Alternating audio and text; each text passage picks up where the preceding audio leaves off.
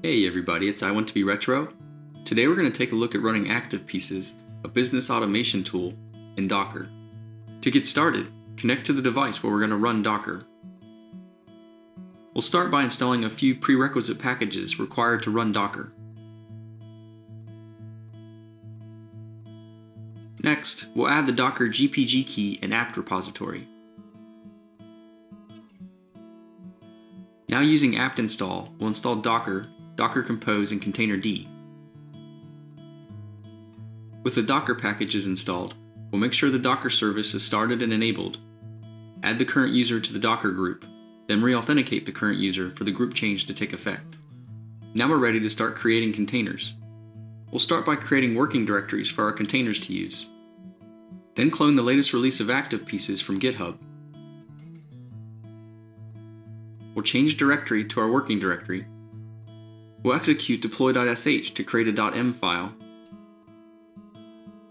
then edit the .env template in Nano. Using the video description as a guide, update the values in the .env file to configure the database and host information.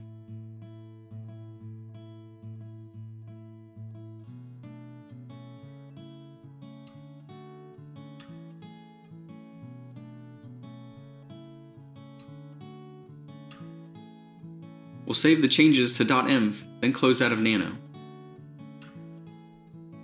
Now we're ready to use the docker build command to create an Activepieces Docker image.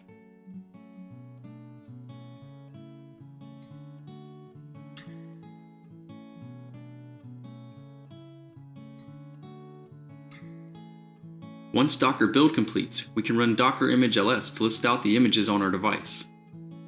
We should see our newly built Activepieces image in the list. Now that our image is built, we're ready to run Activepieces. We'll start by creating a Postgres database container using the docker run command.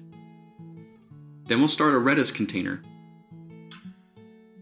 And finally, we'll start a container using the Activepieces image we just built.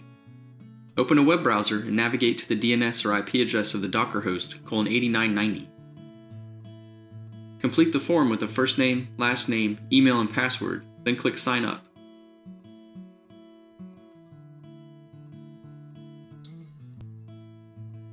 Welcome to Activepieces, running containerized in Docker.